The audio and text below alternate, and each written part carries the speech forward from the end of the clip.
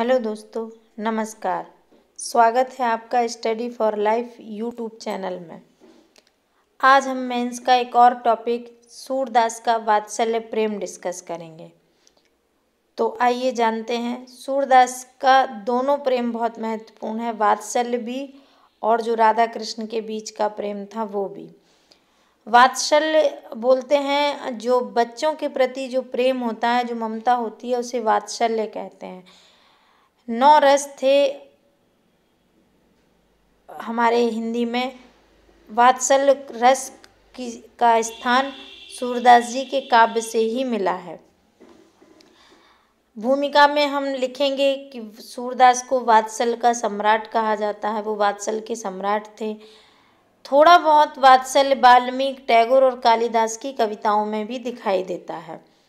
अंग्रेज़ी में यह वर्ड्सवर्थ और लॉन्ग फेलो की कविताओं में नज़र आता है। तुलसीदास की काव्य में भी रामचंद्र जी का जो बचपन दिखाया है, राम लक्ष्मण भरत शत्रुघ्न का, उसमें वात्सल्य का दर्शन होता है। लेकिन जितना सूक्ष्म चित्रण सूरदास ने वात्सल्य प्रेम का किया है, उतना सूक्ष्म वात्सल्य कहीं और दृष्टिगत नहीं होता है।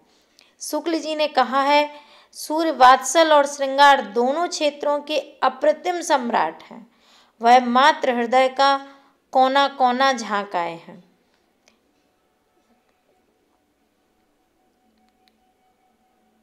वात्सल को दो तरह से डिस्क्राइब करेंगे हम, संयोग वात्सल और वियोग वात्सल।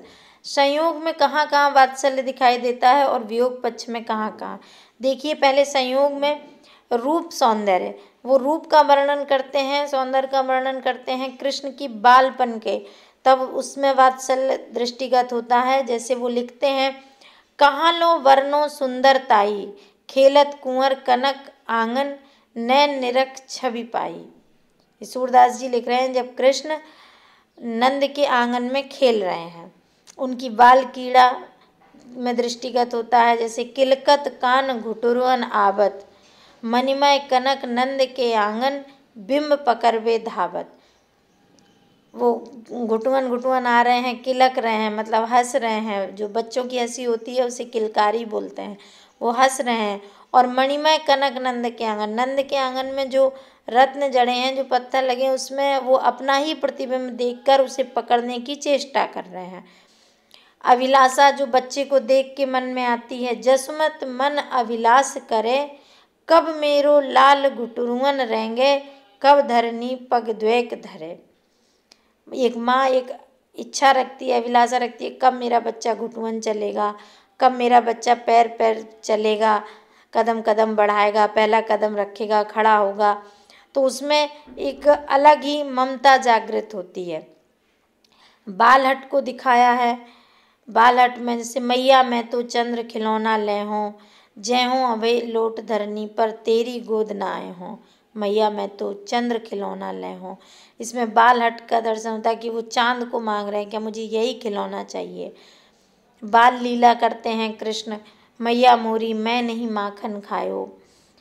मात्र आशंका, जो माँ की आशंका बच्चे के प्रति होती एक एक चीज़ का सूक्ष्म वर्णन किया है। एक बच्चे के प्रति जो आम माताओं की स्थिति होती है, वो बिल्कुल यशोदा और कृष्ण में दिखाई देती है। मात्र आशंका, यानी कि माताओं को एक आशंका होती है कि हमारे बच्चे को नज़र न लग जाए। कितनी भी पढ़ी लिखी और एजुकेटेड माताएँ भी अपने बच्चे को काला टीका लगाती हैं कि उनको, उनके बच्चे को कहीं नज़र न लग जाए।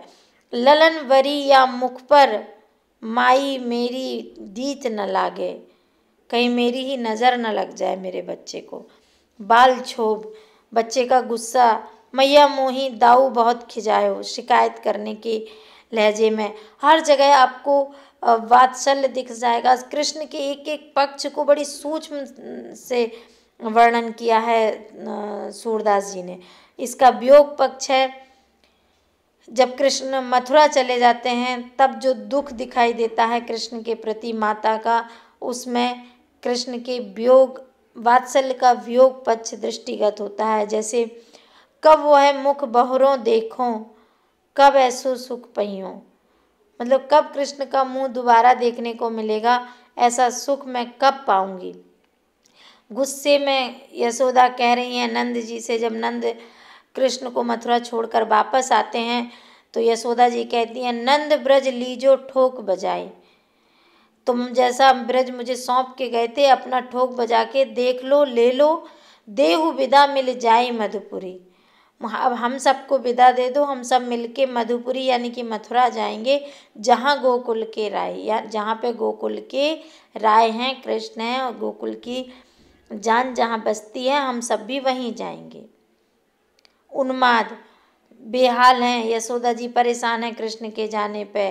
सूरदास जी लिखते हैं, जसुमत अति ही भई बेहाल।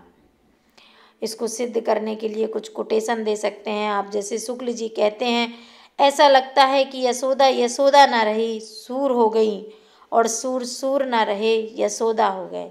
वात्सल का वर्णन करते समय सूर और यशोदा एक ही लगते हैं। जब यशोदा बोलती हैं तो लगता है सूर बोल रहा है और जब सूर बोलते हैं तो लगता है कि वो स्वयं यशोदा हो गए हैं। द्विवेदी जी भी कहते हैं, हम बाल लीला से भी बढ़कर जो गुण सूर में पाते हैं, वह है उनका मात्र हृदय चित्रण। शुक्ल जी सूर, अंत में आप कंक्लूजन जब देंगे, उपसंहार देंगे, उसमें कोटेशन देके उसे सिद्ध कर देंगे कंप्लीट कर देंगे। शुक्ल जी सूर्य के श्रृंगार के संबंध में जो यह कहते हैं कि उन्होंने गोपियों की इतनी भाव दशाओं का वर्णन किया है कि मनोविज्ञान में उनका नामकरण तक संभव नहीं है। यह कथन सूर्य के वात्सल वर्णन के साथ भी हु बहु लागू होता है। तो आशा है आपको ये वीडियो लाभकारी सिद्ध होगा। आपके रिवीजन की कड़ी में आप एक दो बार भी अगर इसको देखेंगे तो आशा है ये आपको सारे कोटेशन याद हो जाएँगे। और सुनने से बहुत जल्दी याद होता है तो आप कोशिश करिएगा कि इसको रिवीजन के तौर पे दो एक बार देख लें। आपकी शुभकामना, आपके लिए शुभकामनाओं के साथ धन्यवाद। आप हमारे वीडियो को लाइक करें शेयर करें और चैनल को सब्सक्राइब करें। धन्यवाद।